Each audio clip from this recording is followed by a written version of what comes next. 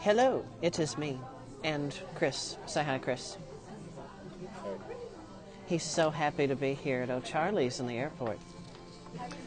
Well, we're getting ready to get on what I will call, since there is Air Force One, there is Shepherd One for the Pope, and this will be Patriarch One. So uh, I will let y'all know of our progress to New York. Hope y'all are having a good day.